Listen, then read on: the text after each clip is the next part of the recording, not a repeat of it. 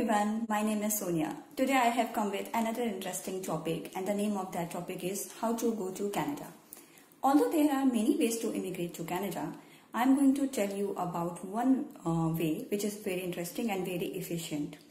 Uh, I have decided to make a series of videos on this topic because there is not the only way which I am going to tell you. There are many other ways also but I have selected this way because this way has many advantages.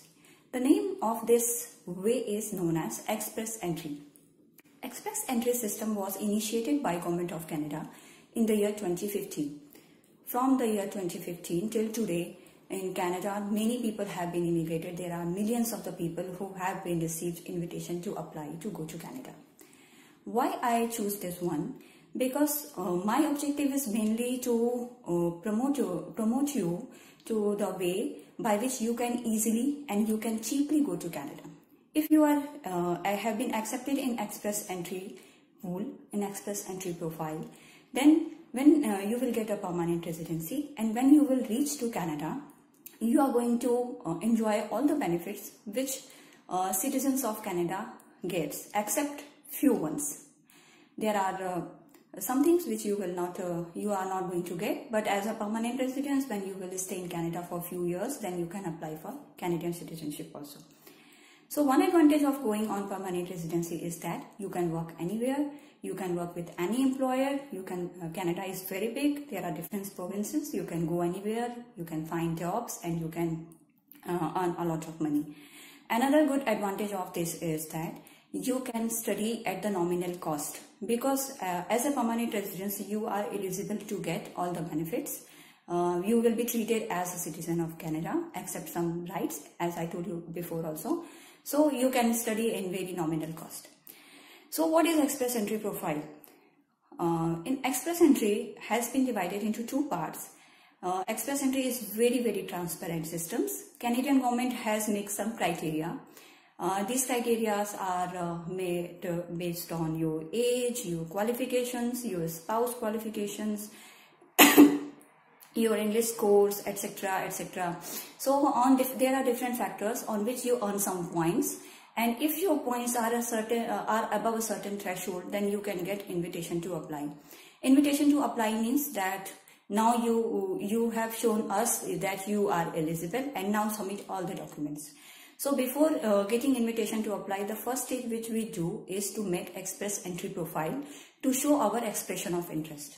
And in expression of interest, you can know, uh, you show to government that you have so many competencies, you have so many work experience, you have your spouse, your spouse is also very qualified, and you show them that yes, I have these points. So uh, generally, if you uh, show to government by submitting your expression of interest, after uh, and your points are above a certain threshold, uh, then you can get invitation to apply. Applying for uh, expression of interest is totally free of cost. You don't have to pay anything. But before that, uh, before uh, showing your interest, you have to prepare in two ways. First way is to, to do education credential assessment. What is this? In this, we show that our qualification, our degree, which have achieved in our country is equivalent to a particular degree in Canada. Sometimes it happens that you have done four years of degree and it is equivalent to a master's degree in Canada. And sometimes it also happens that you have done master's in your country and it is equivalent to bachelor degree in Canada. So it depends upon uh, different uh, institutions, uh, type of syllabus, type of um, uh, ranking of universities and many other factors. So to do education credential assessments, you have to contact with uh, Canadian uh, organizations. There are many organizations. One of them is WES, World uh, Education Services, Canada. I, I will tell you detailed procedure in my further videos. So once you did your ECA, you do this ECA for your spouse also. If you are going to claim points for your spouse, ECA is must for both of them. And suppose you are you have decided that you are not going to do assessments for your spouse. In that case, you cannot claim points. So first step is that you do a ECA. It took generally two to three months and sometimes four months also. This process is a bit lengthy, so you should start. Second thing which you have to prepare with yourself is IELTS or CELPIP score. These two exams are English exams and Canada give a lot of points on English exams. If your English is good, then you are going to uh, achieve more than 100 points only based on English score. So you can do these two things in parallel and uh, generally if you will prepare yourself for English, then it will also to, going to take one to two months, then you can write exams and then you can go to schools. I'm going to tell you every uh, how much uh, uh, scores you need, everything, etc. Uh, now, before that, uh, I'm going to uh, give you one very important information. You know, in 2020, Canada has planned to immigrate 3.4 lakhs people in, in their country based on express entry systems.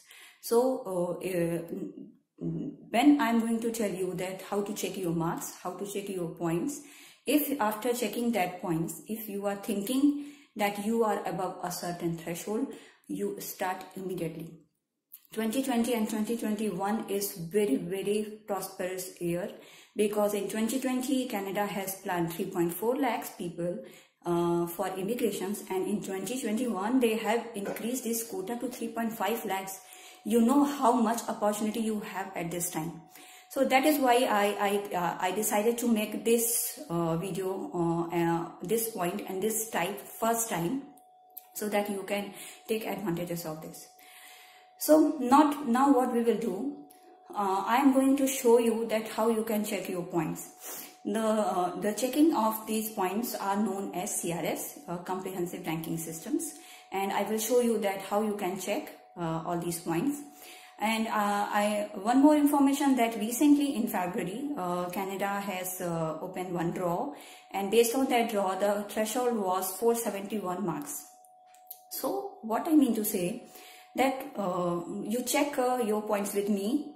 Uh, I am showing, I am going to show you and if your points are above 440 or 450 you you start immediately because every year uh, in in year after every 15 days canada do this draw and uh, points varies so uh, as per my experience if you have more than 440 then you can uh, and any draw you can get uh, invitation to apply this it is free of cost again i'm saying to make profile on uh, Canadian government website is totally free. You don't need to pay anything. Only you have to say to them that this is your qualifications. But be prepared. Start to collect all documents. Uh, once you know that you are eligible and you can go, go to Canada. Because document collection also take time and when you will receive invitation to apply, you will be given two to three months to submit all the documents. So uh, at that time you will not have time to apply for birth certificate, uh, apply for passport, apply for uh, uh your ECA, etc. etc. So uh, what you do, you collect all documents, but before that, first step is that you do ECA, do IELTS, and when you are prepared with these two documents, then you make immediately profile. Making profile doesn't take more time. So let's check together if you are eligible uh, for to go to Canada under under Express Entry Systems. Come with me. Open this Google uh, account. You say in Google you type CRS point calculator. CRS is comprehensive ranking system which is a, a ranking scheme used by government of Canada. Mm. This is cic.gc.ca is official website. I will always suggest that you always follow official website because it will give you correct information. You have to click on this and now you can come down At last, you have to start with your marital status because this status is very important to calculate points. If you are single, then you are going to get more points than if you are married. But in case you are single, you are not eligible for spouse points. So overall, it's approximate same. So let's get started. In in marital status, suppose I will say uh, that uh, person is married then it will ask if your spouse or common law partner is citizen or permanent resident of Canada.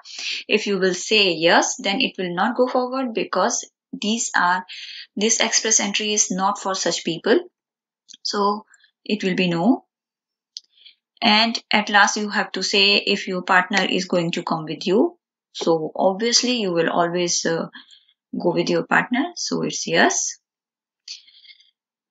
so this is most important. How old are you? This is the point where you cannot change anything. You have to say oh, what you are.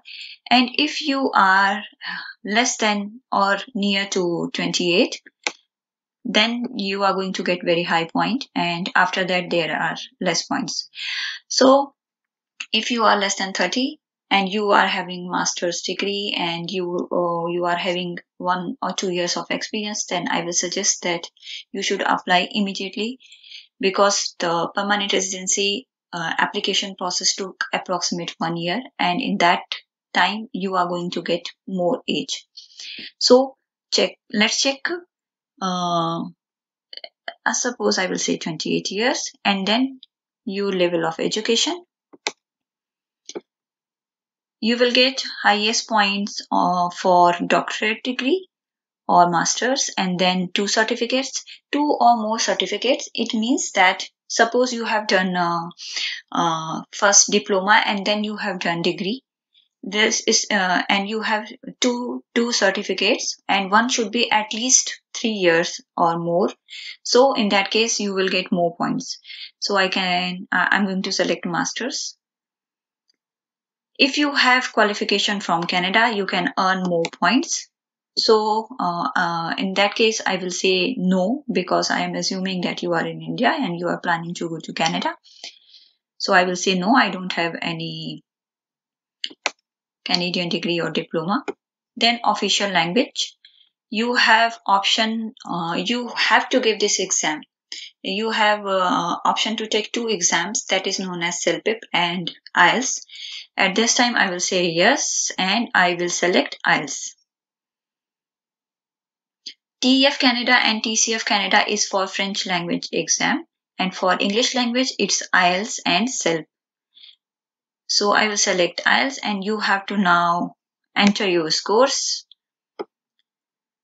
You know your level uh, and if you are an uh, average one uh, in English, so uh, I'm sure uh, in IELTS general you are going to get at least 7 in speaking, at least 7 in uh, listening, at least 7 in reading and at least 7 in writing. I am assuming that you don't know French so I will select. You don't have any other uh, language test. And then be careful in the last 10 years, how many years of skill experience in Canada do you have? So it is asking Canadian experience.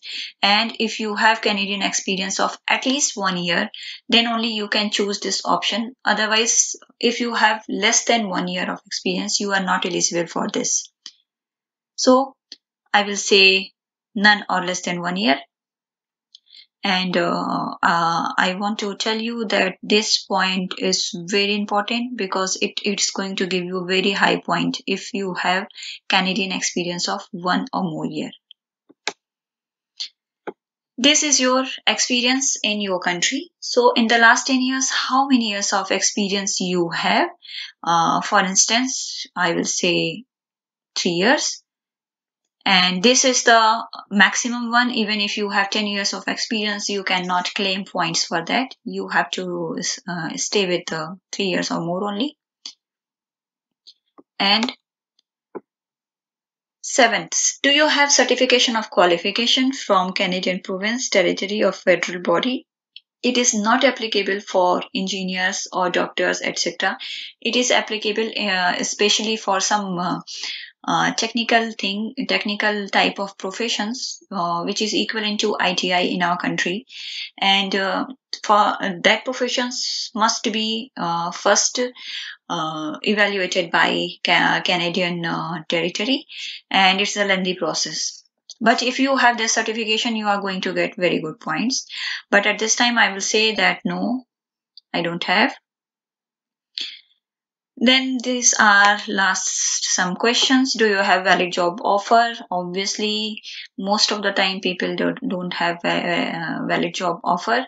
And nomination certificate? No.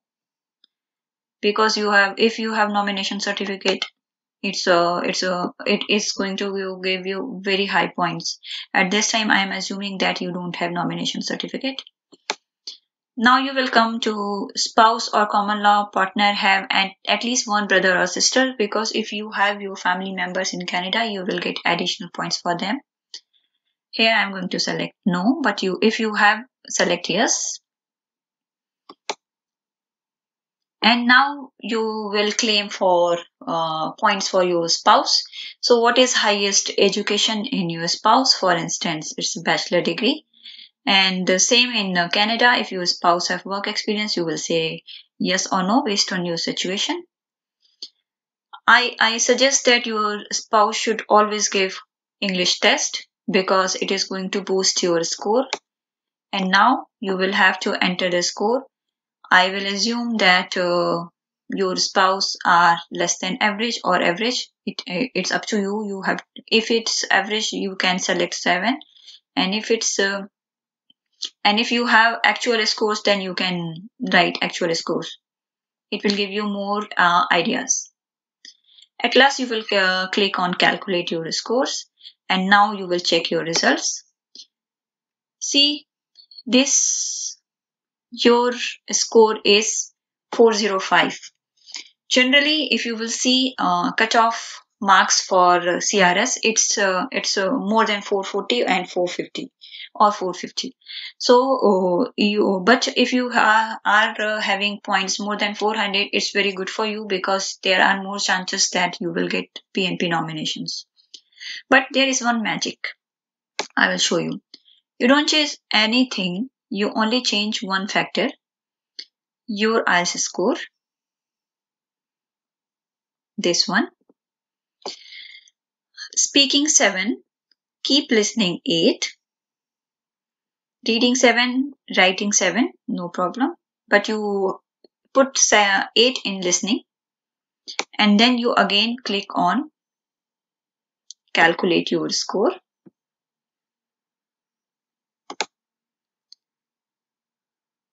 And this is magic.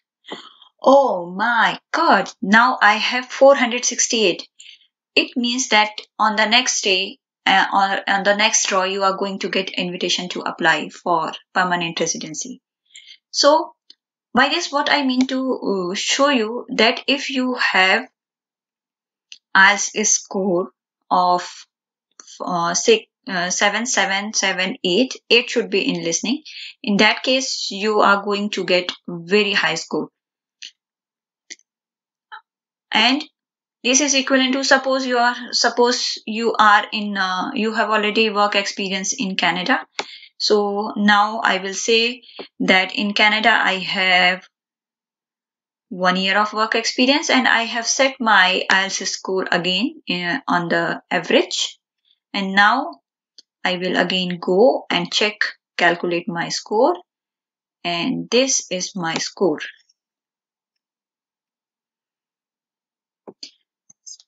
See, 490. It means that experience in Canada is very valuable. And if you have any of your spouse have, suppose you or your wife, you or your husband, anyone of you have Canadian experience, you should make them prime applicant.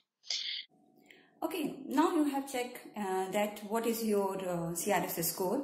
You have simulated all the situations. So now I will suggest that if you are thinking that your marks is more than 440, then do start start the process immediately and uh, uh, I, I, wish you uh, very good luck so that uh, I can uh, I can uh, see you in Canada after one year.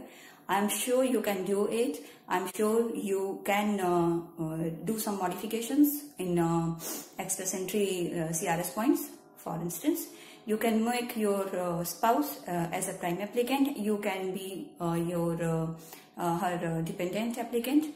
It doesn't matter because when you will receive invitation to apply your whole family is going it will be eligible to work there. So don't worry it is not like that that you will be prime applicant then only you can work. No you and your spouse both can work. So simulate points in opposite way also and see that in which case you are going to make maximum points and make them an, a prime applicant so we start the process now because time is moving very fast. Wish you very good luck. Stay with me. Let's see you in next video. Bye.